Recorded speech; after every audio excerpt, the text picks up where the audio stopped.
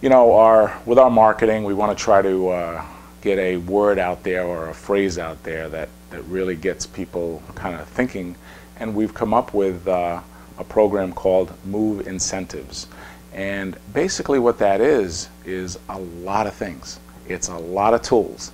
It is every deal is different. Everybody's situation is different again.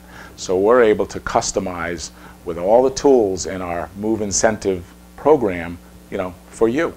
So, you know, we love a challenge. Uh, the difficult we do immediately, the impossible takes a little longer.